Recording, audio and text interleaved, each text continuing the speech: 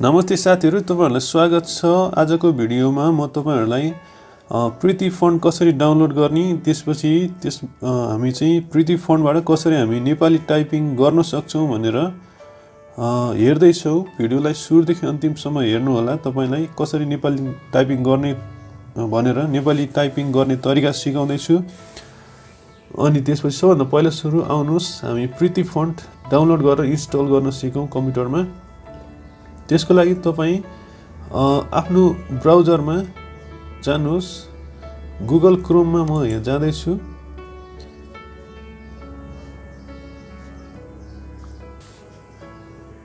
अब यसरी तपाईँले आफ्नो ब्राउजर खोलिसके पछाडि यहाँनिर गएर तपाईँले टाइप गर्नुहोस् प्रीति फन्ट डाउनलोड भनेर टाइप गर्नुहोस् अनि त्यसपछि इन्टर प्रेस गर्नुहोस्।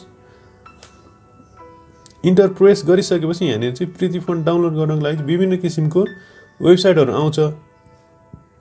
अब यहाँ चाहिँ यहाँमध्ये चाहिँ अब भरपर्दो वेबसाइट चाहिँ मेरो एक्सपिरियन्सको आधारमा चाहिँ मैले चाहिँ यो प्रीति फन्ड यहाँ फन्ड टु यु भनेर font to you dot com भनेको छ।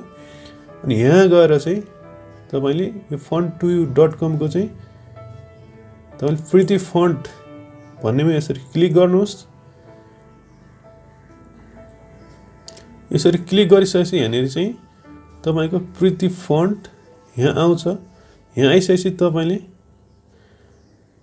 यहाँनिर गएर डाउनलोड लेखा छ। अनि यो डाउनलोडमा जाने यसरी डाउनलोडमा क्लिक गर्नुहोस्। यसरी डाउनलोडमा क्लिक गरिसकेपछि हाम्रो यहाँ चाहिँ यसको प्रीति फन्डको यहाँ जिप फाइल डाउनलोड हुन्छ यहाँबाट। त्यसको लागि यहाँनिर चाहिँ यो माथितिर फर्केको सानो एरो छ यसमा क्लिक गर्नुहोस्। यसमा क्लिक गरिसकेपछि यहाँनिर चाहिँ तिनवटा अप्सन आउँछ। यहाँ चाहिँ तपाईँले सो इन फोल्डर्समा जानुहोस्। सो इन फोल्डर्समा गएपछि तपाईँको कुन चाहिँ फोल्डरमा डाउनलोड भएको छ डाउनलोड भएको लोकेसनमा जान्छ। अनि त्यसपछि यहाँनिर चाहिँ प्रीति फन्ट आइरहेछ। यसलाई चाहिँ यो जिप फाइल भएको कारणले गर्दाखेरि तपाईँले यसलाई एक्सट्र्याक्ट गर्नुपर्छ। राइट क्लिक गर्नुहोस् अनि एक्सट्र्याक्ट फाइलमा क्लिक गर्नुहोस्। अनि ओके क्लिक गर्नुहोस्। ओके क्लिक गरिसकेपछि यहाँनिर चाहिँ प्रीति भनेर एउटा फोल्डर निस्किन्छ।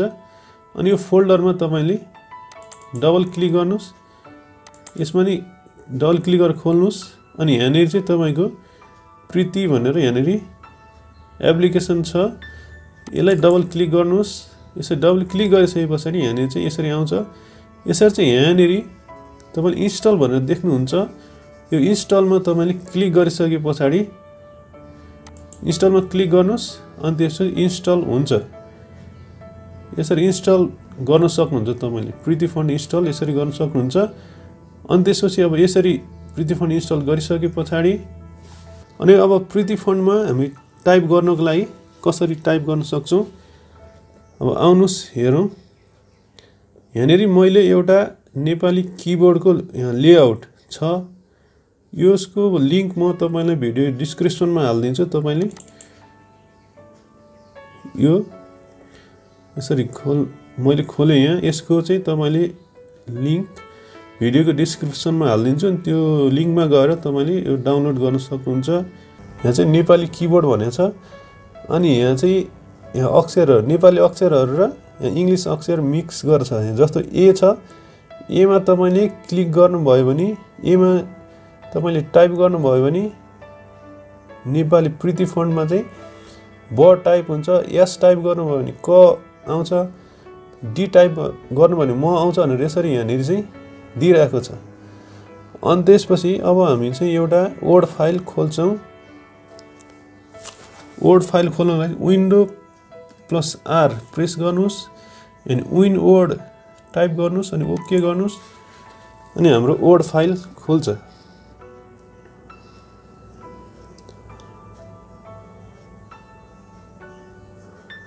यहाँ वर्ड फाइल खुलिसक्यो। यहाँ वर्ड फाइल खुलिसके पछाडि चाहिँ अब तपाईँको यसो म्याक्सिमाइज आइरहेछ भनेदेखि यस्तो म्याक्सिमाइज आइरहेछ भने यसलाई मिनिमाइज गरेर यसको आकार चाहिँ तपाईँले यहाँनिर घटाएर घटाउने बढाउने गर्न सक्नुहुन्छ। यसरी नै यसको पनि आकार तपाईँले घटाउने बढाउने यसरी गर्न सक्नुहुन्छ। अब यहाँ चाहिँ तपाईँले यहाँनिर आएर चाहिँ यसमा क्लिक गर्नुहोस्। यहाँ आएर क्लिक गर्नुहोस् अनि त्यसपछि यहाँ चाहिँ पिआरइइटिआई प्रीति भनेर टाइप गर्नुहोस् अनि इन्टर प्रेस गर्नुहोस्। यसरी इन्टर प्रेस गरिसके पछाडि हाम्रो प्रीति फन्ट इनेबल भइसकेको छ अनि अब हामीले चाहिँ यसको साइज बढाइदिउँ। यसको साइज बढाउनको लागि चाहिँ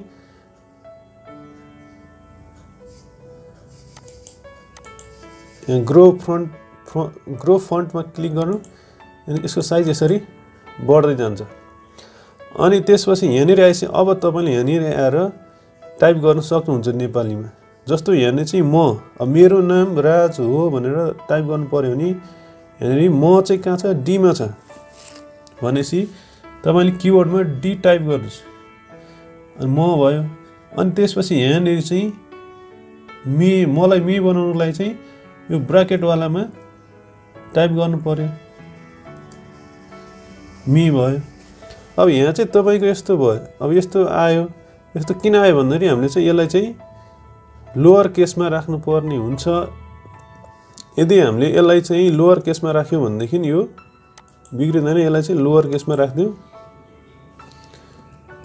यसरी लोवर केसमा राखेर तपाईँले म लेख्नु अनि त्यसपछि यहाँनिर म भनेको डीमा हुन्छ डी टाइप गर्नु।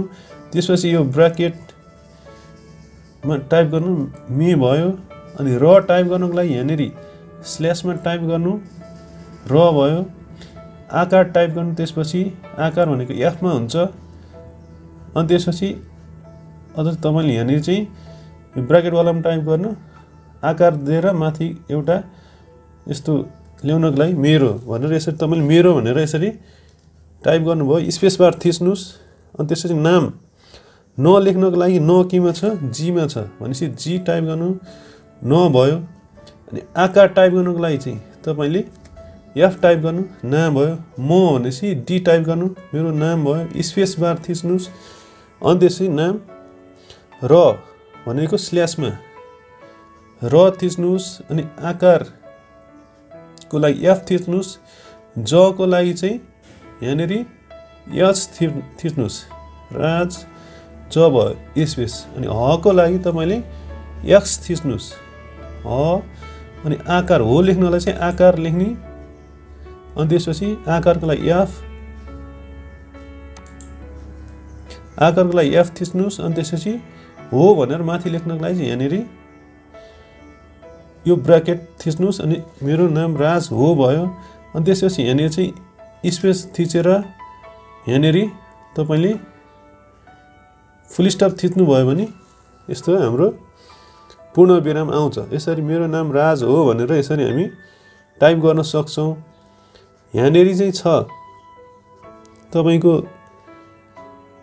यहाँनिर चाहिँ विभिन्न कुराहरू छ। यदि तपाईँले चाहिँ यहाँ हेर्दै हेर्दै यहाँनिर टाइप गर्नुभयो भने तपाईँलाई बिस्तारै बिस्तारै तपाईँलाई नेपालीमा टाइप गर्नलाई बानी बस्दै जान्छ। कुन अल्फाबेटमा कुन चाहिँ नेपाली शब्द छ? तपाईँले याद हुँदै जान्छ। अब एमा ब हुन्छ। भनेपछि ए ब। भनेपछि ए तपाईँले ए बा भनेर सम्झिनै हुन्छ। ए बा भनेर तपाईँले सम्झिनु ए भनेको अ एमा बा हुन्छ भनेर सम्झिँदा नि हुन्छ। यस भने स। यसमा क हुन्छ। यसमा क हुन्छ भनेपछि स क भनेर सम्झिँदा नि हुन्छ। डीमा म हुन्छ भनेपछि डिम भनेर तपाईँले डिम भनेर आफ्नै किसिमको शब्द बनाउनुहोस्। त्यो याद गर्नको लागि। यसरी आकार भनेको एफमा हुन्छ भनेर याद गर्नु। अनि त्यसपछि जस्तै डब्लु डब्लुमा ध हुन्छ। अब डब्लुमा ध भनेपछि अब तपाईँले ओल्ड धमाका भनेर डब्लुमा धमाका भनेपछि डब्लुमा धमाका भने ओल्डमा धमाका भनेर तपाईँले यसरी कुनै पनि किसिमले आफ्नो छुट्टै शब्द बनाएर याद गर्नको लागि तपाईँले बनाउन सक्नुहुन्छ। जस्तो बीमा द हुन्छ भनेपछि बी टाइप गऱ्यो भने द आउँछ भने बिद बी द भनेर तपाईँले बी द भनेर याद गर्दा नि हुन्छ। यसरी तपाईँले आफ्नै किसिमले याद हुने शब्द बनाउनुहोस् यसरी शब्द तपाईँले बनाउनुहोस्। अनि त्यसरी यसरी बनाउँदाखेरि तपाईँले नेपाली टाइपिङमा याद हुँदै जान्छ। अनि त्यसपछि हामी टाइप गर्न सक्छौँ।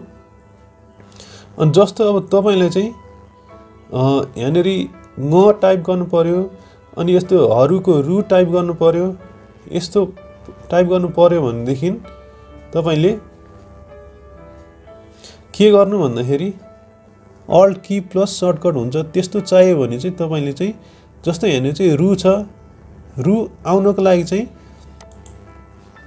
यहाँनिर छ तपाईँको रु छ। रु आउनको लागि चाहिँ तपाईँले alt plus zero one nine one type गर्नु पऱ्यो यो चाहिँ तपाईँले किबोर्डमा अल्ट प्लस अल्ट थिच्नु अनि जिरो वान नाइन वान तपाईँले थिच्नु। छिटो छिटो जिरो वान नाइन वान थिच्नु। अनि त्यसपछि यो यस्तो रु आउँछ।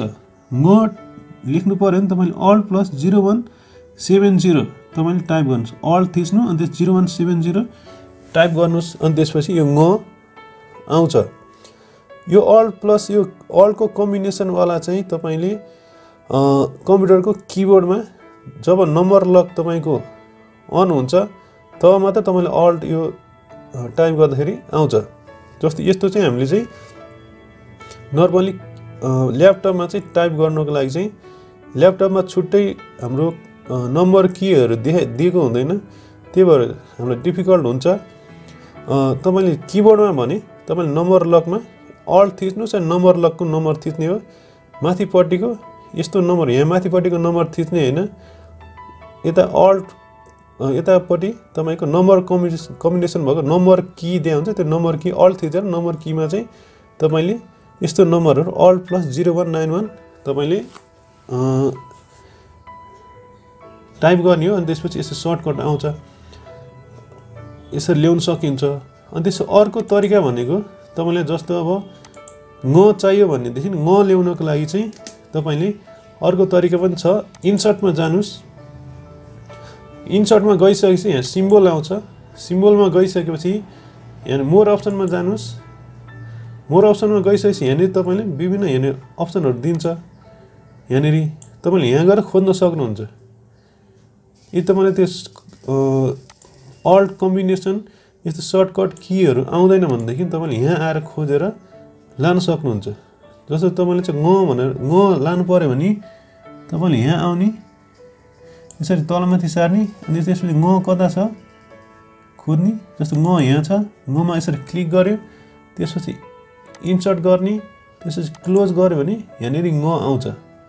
त्यसै गरिकन तपाईँलाई रु चाहियो भने पनि यसरी नै इन्सर्टमा आएर सिम्बलमा आउने सिम्बलमा आइसकेपछि यहाँनिर मोर सिम्बलमा आउने यहाँनिर चाहिँ रु कता छ खोजेर यहाँ रु भयो त्यसपछि इन्सर्ट गर्ने क्लोज गर्ने अनि यसरी यहाँनिर रु आउँछ। यसरी छिटो छिटो ल्याउनको लागि चाहिँ तपाईँले अल्ट कम्बिनेसनको युज गर्ने हो। यदि अल्ट कम्बिनेसन आउँदैन भनेदेखि यसरी पनि तपाईँले नेपाली टाइप गर्न सक्नुहुन्छ। अनि यदि तपाईँले चाहिँ जस्तो अब मेरो नाम राजु हो भनेर यसरी चाहिँ राजु हो भनेर यसरी चाहिँ तपाईँले चाहिँ यसरी टाइप गर्नु पऱ्यो जस्तो यो चाहिँ राजु लेख्दै जु उकार। यस्तो उकार आएन भने तपाईँले के गर्नु भन्दाखेरि कतिपय अवस्थामा त्यो उकार नआउने समस्या हुनसक्छ। त्यो उकार आएन भने तपाईँले यहाँनिर फाइलमा जानु। यसरी फाइलमा गइ गइसकेपछि यहाँनिर चाहिँ अप्सन आउँछ। अप्सनमा जाने। अप्सनमा गइसकेपछि यहाँनिर चाहिँ तपाईँको प्रुफिङ आउँछ। प्रुफिङमा जाने। प्रुफिङमा आइसकेपछि यहाँनिर अटो करेक्ट करेक्ट अप्सन हुन्छ। यो अटो करेक्ट अप्सनमा जाने। अनि अटो करेक्ट अप्सनमा गइसकेपछि auto format as you type भन्ने हुन्छ यसमा जाने।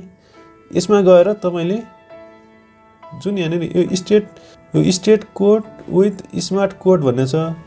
यसमा चाहिँ यो टिकमा तपाईँको लगाएको छ भनेदेखि चाहिँ तपाईँको यहाँनिर चाहिँ तपाईँले हु लेख्नु पऱ्यो भने यस्तो उकार यस्तो आउँदैन। तपाईँले कुकुर लेख्नु पर्यो पऱ्यो भने चाहिँ कु कु र भनेर यसरी लेख्दाखेरि चाहिँ कुकुर लेख्न मिल्दैन। यदि तपाईँले चाहिँ यस्तो आइरहेछ भनेदेखि तपाईँको कम्प्युटरमा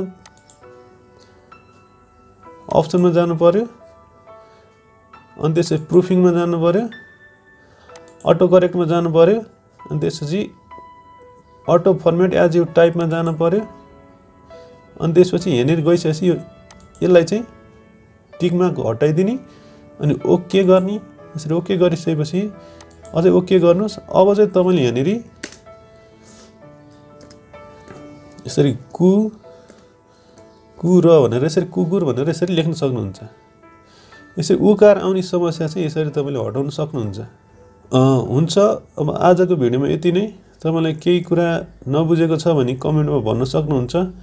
यस्तै कम्प्युटरसँग सम्बन्धित भिडियो पाउनको लागि हाम्रो च्यानललाई सब्सक्राइब गर्नुहोला। आजको भिडियोमा यति नै। अर्को भिडियोमा भेट्नेछौँ। धन्यवाद।